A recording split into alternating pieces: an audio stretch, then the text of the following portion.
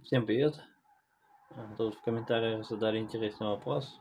Ну, собственно говоря, когда-то давно а, я тоже читал такую информацию, но не находил ни опровержения, ни подтверждения данной информации. В общем, смотрите, есть э, два редуктора. Вот это у нас штиль FS450K. Вот это оригинальный родной редуктор э, штиль FS450. И вроде бытует мнение, что угол наклона, видимо, у этих редукторов разный. Вот я сейчас приложил, посмотрел, ну, абсолютно одинаковый редуктор. И когда я покупал на 450 штиль э, запасной редуктор, как запчасть, задавал этот вопрос, то есть на меня посмотрели как на дурачка, сказали, что они на всех трех э, штилях одинаковые. Напомню, что у 450 штиля есть еще версия L, которая на 10 сантиметров длиннее, чем обычный 450. Вживую никогда не видел, пытался заказать, но не готовы были мне его привезти. Э, по передаточным числам, к сожалению, ничего подсказать не могу, потому что, ну, здесь понятно, что на редукторе я могу посчитать передаточное число, а вот как его посчитать на неразобранном, честно, не знаю.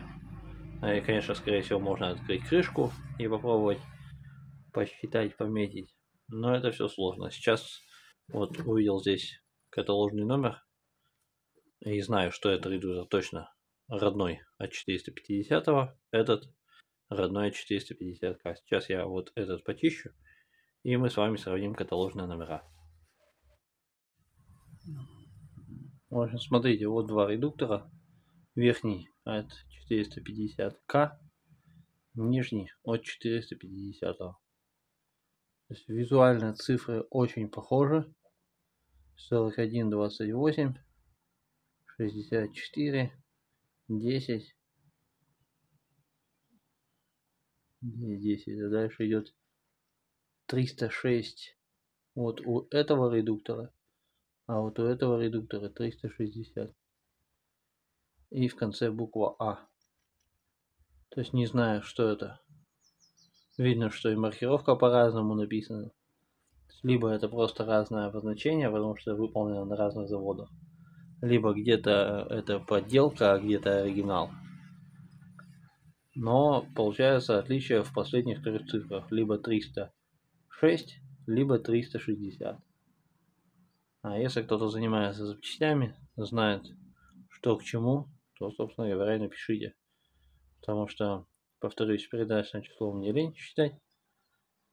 Ну а внешний вид у редукторов одинаковый. Вот фактически отличается только надпись.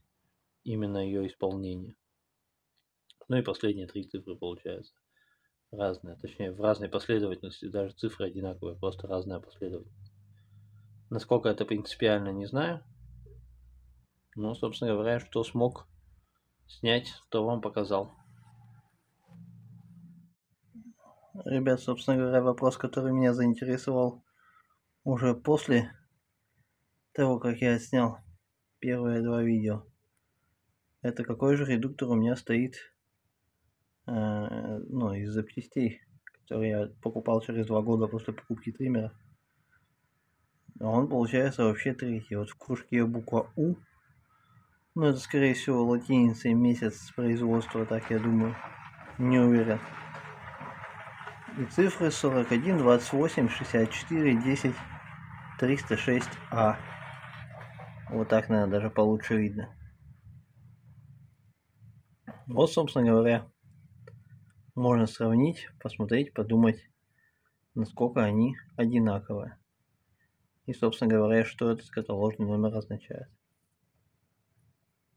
Ну, на сегодня пока все. Пишите в комментариях, кто что думает. Может, кто-то действительно занимается запчастями и знает, что это все означает.